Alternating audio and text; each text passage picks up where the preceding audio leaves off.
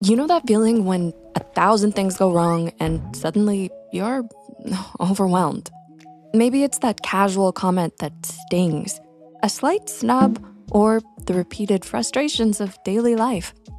Though they might seem minor or insignificant, these small wounds can add up over time and have a profound impact on our well-being. Therapist Dr. Margaret Crastnopol calls these microtraumas they are small, often unnoticed events that can cause emotional pain over time. Microtraumas are personal and everyone processes them differently, says psychiatrist Dr. Claire Harrigan.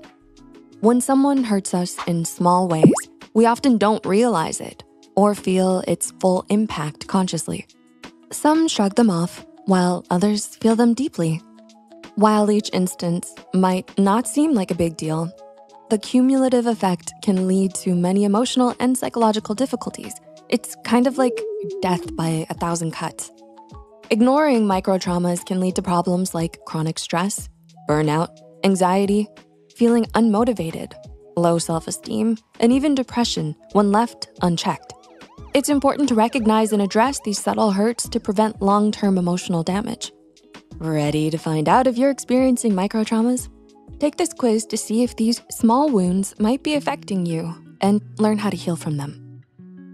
Number one, do you often feel undervalued or ignored at work, school, or social settings? A, yes, frequently.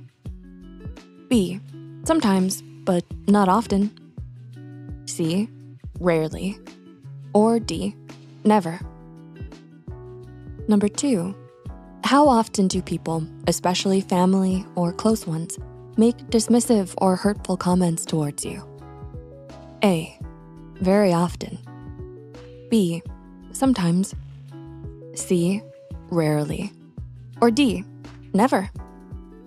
Number three, do you notice yourself feeling isolated or excluded from group activities or social gatherings? A, yes, I often feel left out. B, Occasionally, but I try to stay positive. C, rarely, but it happens. Or D, no, I feel included most of the time. Number four, how often do you experience unmet expectations, like unacknowledged efforts or broken promises? A, very often. B, sometimes. C, rarely. Or D, never.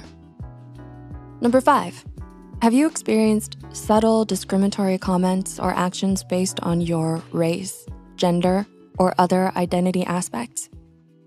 A, yes, frequently. B, occasionally. C, rarely. Or D, never. Number six, do you live or work in an environment where you face constant criticism, even about minor things? A, yes, constantly. B, sometimes. C, rarely. Or D, never. And number seven, do you feel emotionally unsupported by your loved ones? A, yes, often. B, sometimes. C, rarely. Or D, never. Results. Mostly A's. You might be experiencing microtraumas. Ugh, oh no. You seem to be encountering several micro traumas in your daily life. Micro traumas are personal and everyone processes them differently. Some shrug them off while others feel them deeply. While each instance might not seem like a big deal, the cumulative effect can lead to many emotional and psychological difficulties. The first step to healing from microtraumas is recognizing that these small wounds matter. So give yourself permission to feel and acknowledge the impact of these experiences. Don't invalidate your own emotions. If something hurts, it's real and deserves attention. Take proactive steps to address your microtraumas, such as practicing more self-compassion, establishing boundaries, and engaging in regular self-care. Mindfulness practices can also enhance your ability to cope with stress and bounce back. If needed, consult a therapist or additional support.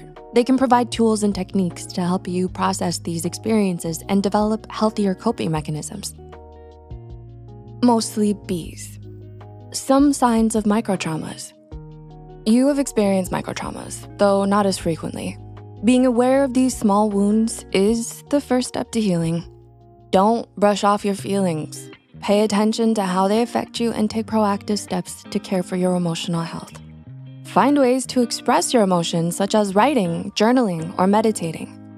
And prioritize activities that help you relax and recharge.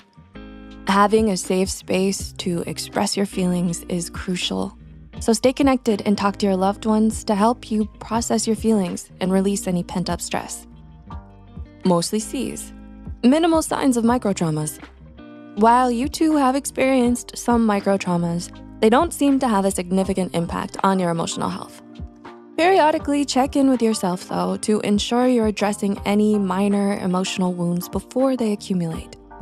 Focus on maintaining a positive outlook and acknowledging the good things in your life. Mostly Ds, unlikely to be experiencing microtraumas. You seem to have a healthy emotional environment with minimal microtraumas. Keep up the good work in maintaining your well being and supporting a positive mental state. Encourage positivity in your environment and support those around you in recognizing and addressing their own microtraumas. Stay mindful of your emotional health and continue practices that have helped you maintain this balance.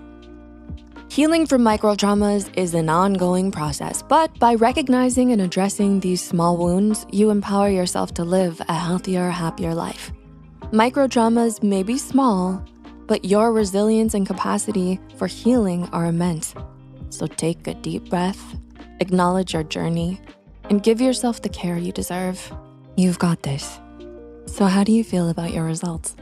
Share your insights in the comments down below. And if you found this video helpful, don't forget to like, share, and subscribe for more content that empowers you to live your best life. We also have a quiz on how people view your personality or a video about hidden signs your past trauma is still hurting you. Thanks for watching.